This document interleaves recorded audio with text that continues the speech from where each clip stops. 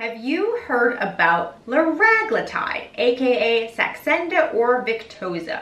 Well, today we are going to talk all about it. Hi and welcome to my channel. My name is Dr. Meghan. I am a board certified physician in internal medicine, lifestyle medicine, and obesity medicine. And this channel is your trusted source for evidence-based answers to your weight questions. So welcome. Today we are going to talk about liraglutide because we've talked a lot about Mounjaro, aka tirzepatide, and we've talked a lot about semaglutide, which is also known as Wegovy and Ozempic. But liraglutide is a lesser known player, but really was a very important first step in the GLP-1 agonist category. So I don't think it gets as much attention um, with some good reasons, but let's talk a little bit about it because for some people it is actually a better option in terms of weight loss medication. And as a caveat, of course, whenever I'm talking about weight medication, I'm always talking about medication for those people who feel like their weight is a health problem and who fall into the specific FDA designated categories for approval, meaning a BMI of 27 or above with comorbidities or a BMI of 30 or higher. So liraglutide is also known as Saxenda or Victoza and as Saxenda, it was the first GLP-1 agonist to be FDA approved for weight loss. The mechanism for liraglutide is basically the same as semaglutide. It is a GLP-1 agonist. It works on the stomach to really slow the transit of food through the stomach and strengthen that message of fullness and decrease appetite, that messaging from the stomach to the brain. It also works in the brain to regulate the energy pathways in terms of energy expenditure, increasing that and decreasing energy storage. Unlike semaglutide, it is a daily injection. So that's a turnoff for a lot of people. You know, an injection once a week, people don't have much of a problem with that, but when you change it to every day, even though it is a pen needle, very user friendly, some patients really don't like that concept. Now, liraglutide is around as both Saxenda and Victoza. Victoza is the FDA approved uh, drug for diabetes. It goes up to 1.8 milligrams. Saxenda is the FDA approved medication for weight and it goes up to 3.0 milligrams daily. Now the benefits of liraglutide uh, one of the benefits is that you can titrate it up quite a bit faster because um, you can go up to the maximum dose in about five weeks, which is great. If you're on Wegovy, it can take several months to get up to that top dose.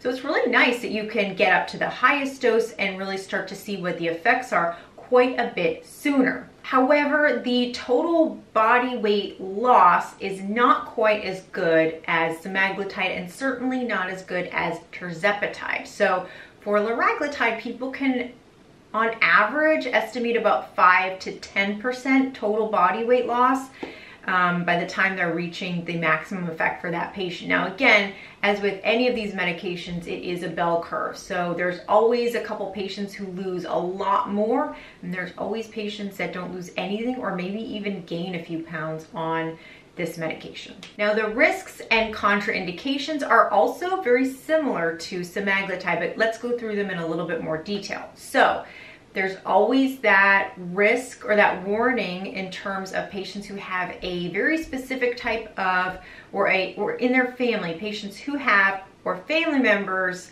who have um, multiple multiple endocrine neoplasia type 2 or medullary thyroid carcinoma for those patients who have a personal history of that or have it in their family, it's not a good fit. But it, that's a very rare uh, set of conditions.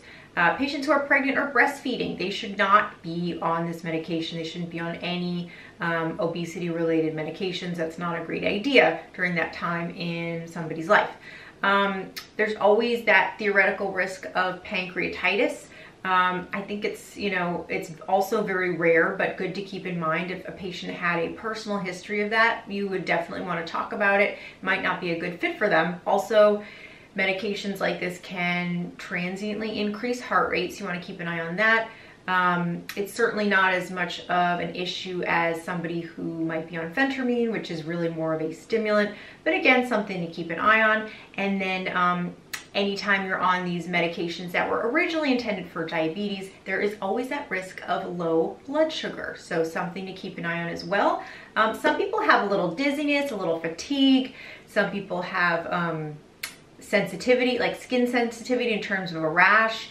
Uh, and then anytime you have uh, more rapid weight loss, you are always prone to uh, gallbladder dysfunction. So that's another thing to think about. Um, if you have reflux, again, because you're slowing the transit of the food through the stomach, it could make that worse.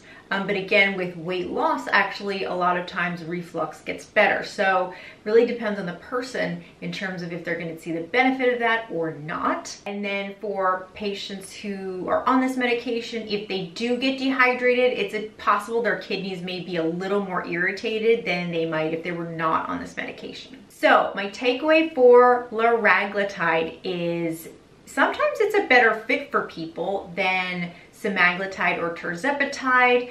I definitely use it. I don't use it as often, but for some people, it just seems to work a little bit better. They have less side effects.